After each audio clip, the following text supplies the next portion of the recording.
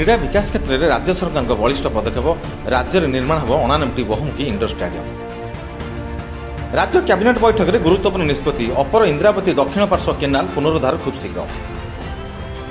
ସାମୁଦ୍ରିକ ସୁରକ୍ଷା ଉପରେ ଜାତିସଂଘ ବିତର୍କରେ ମତ ରଖିଲେ ପ୍ରଧାନମନ୍ତ୍ରୀ। କହିଲେ ସାମୁଦ୍ରିକ ପଥ ଅନ୍ତର୍ଜାତୀୟ ବାଣିଜ୍ୟର ପ୍ରମୁଖ ମାଧ୍ୟମ। ସୁରକ୍ଷା ନେଇ ଦେଲେ ପାଞ୍ଚଟି ମନ୍ତ୍ର। ଚୀନକୁ ବଡ଼ ସନ୍ଦେଶ ଦେଲା ଭାରତ।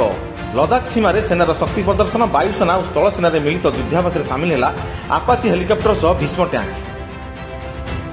ଗତ ଚବିଶ ଘଣ୍ଟା ମଧ୍ୟରେ ରାଜ୍ୟରେ ହଜାର ଏକଚାଳିଶ ଜଣ କରୋନା ପଜିଟିଭ୍ ଚିହ୍ନଟ ଖୋର୍ଦ୍ଧା ଜିଲ୍ଲାରୁ ସର୍ବାଧିକ ତିନିଶହ ତେୟାଅଶୀ। ଜଳଚକ୍ରରେ ହେବ ବଡ଼ ପରିବର୍ତ୍ତନ। ଭୟଙ୍କର ପରିଣତି ଭୋଗିବେ ବିଶ୍ୱବାସୀ। ଜାତିସଂଘ ମହାସଚିବ ଆଣ୍ଟୋନିଓ ଗୁଟ୍ରେସ୍ ରିପୋର୍ଟକୁ ମାନବ ସମାଜକୁ ସତର୍କ ହଟିବା ଭାବେ ଅଭିହିତ କରିଛନ୍ତି। ପାର୍ବଣ ଋତୁ ପାଇଁ ରାଜ୍ୟ ସରକାରଙ୍କ ପକ୍ଷରୁ ମାର୍ଗଦର୍ଶିକା ଜାରି।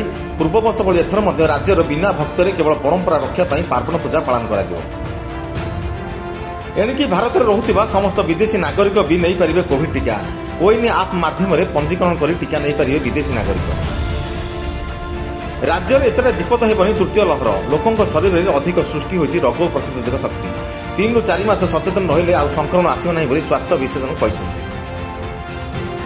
ଦରିଆ ପାରିରେ ଇତିହାସ ରଚି ଘର ବାହୁଡ଼ା ହେଲେ ଭାରତ ଅଲମ୍ପିଆନ୍। ଅଲମ୍ପିକ୍ସ ପଦକ ବିଜେତାଙ୍କୁ ଦିଲ୍ଲୀରେ ବିପୁଳ ସ୍ୱାଗତ ସମ୍ବର୍ଦ୍ଧନା ଅନୁଭୂତି ବଖାଣିଲେ ଖେଳାଳି।